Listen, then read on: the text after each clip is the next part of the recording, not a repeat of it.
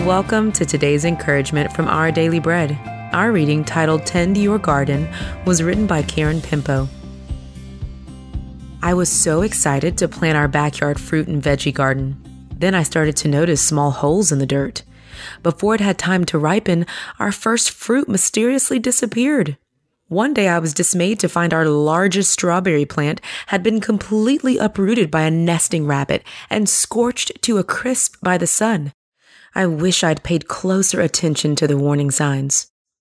The beautiful poem in Song of Songs records a conversation between a young man and woman. While calling to his darling, the man sternly warned against animals who would tear apart the lover's garden, a metaphor for their relationship. Catch for us the foxes, the little foxes that ruin the vineyards, he said. Perhaps he saw hints of foxes that could ruin their romance, like jealousy, anger, deceit, or apathy. Because he delighted in the beauty of his bride, he wouldn't tolerate the presence of anything unwholesome. She was as precious as a lily among thorns to him. He was willing to put in the work to guard their relationship. Some of God's most precious gifts to us are family and friends. Although those relationships aren't always easy to maintain, with patience, care, and protection from the little foxes, we trust that God will grow beautiful fruit.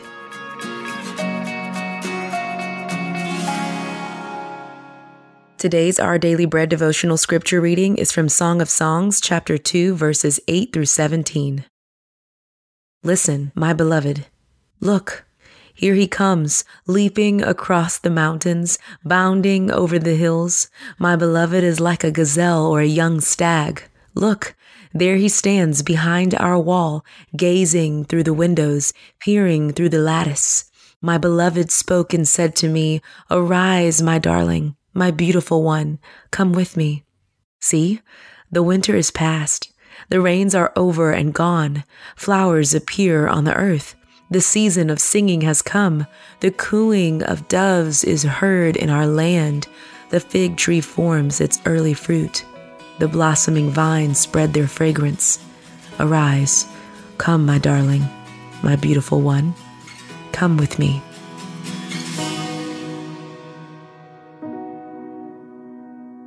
Let's pray.